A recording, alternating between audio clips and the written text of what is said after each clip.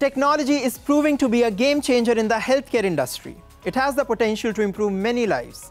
New age tech solutions are revolutionizing diagnosis, treatment, and patient care. Our next report gets you more details. Parkinson's is a degenerative neurological disease. It causes symptoms such as tremors, stiffness, and difficulty with balance and coordination.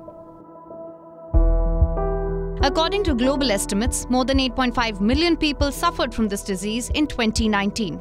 It seems technology can now offer the possibility of improved quality of life for people with Parkinson's disease. Meet Marc Gauthier, a Parkinson's disease patient. He was confined to his house due to debilitating mobility issues, but it all changed after he became the first person to receive a new Swiss designed implant. It changed my life because now I can leave my home, run errands, I even go on foot to exercise. 63 year old Gauthier received a neuroprosthetic.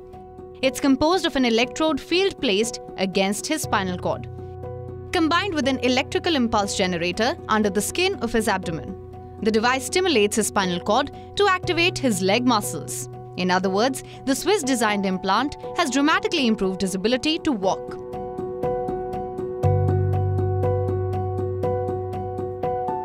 Dr. Gregoire Courtine of the Swiss Federal Institute of Technology in Lausanne co-led the project. The technology is a neurostimulator that delivers precise pulses of electricity to the region of the spinal cord involved in the control of leg muscles. And the pulses are delivered at the correct location with the correct timing in order to reproduce the way the spinal cord is activated naturally in order to walk.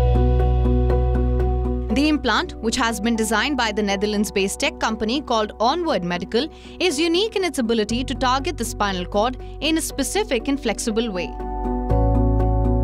The device itself, which I showed you, the neurostimulator and lead, it's very similar to devices that are currently implanted to manage pain.